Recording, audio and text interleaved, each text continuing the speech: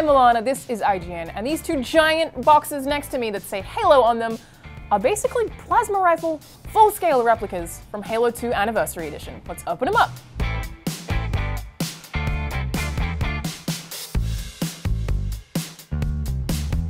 So here they are out of their boxes. Uh, these things are 20 pounds each and pretty glorious looking. They do come with battery packs that just slot underneath here. Um, so these blue bits on the side actually light up and these little wings here are magnetized. So we did actually take them off so that we can lay them down. Um, and it should be mentioned, these guys don't come with stands. So there's no pretty way for us to display them to you sitting up, which is kind of unfortunate, um, especially considering how expensive they are.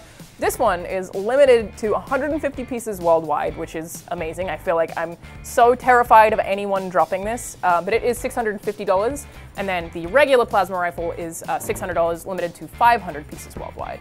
So aside from not having a stand, which is my one big disappointment, I really like these. I really like the attention to detail.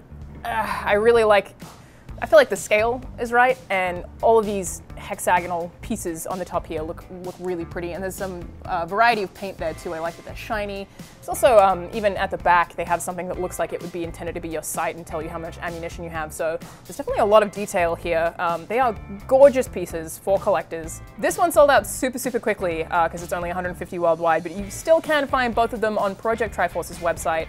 They are amazing pieces for collectors and. Uh, I'm super excited to have my hands on them. For more on Halo, stay right here on IGN.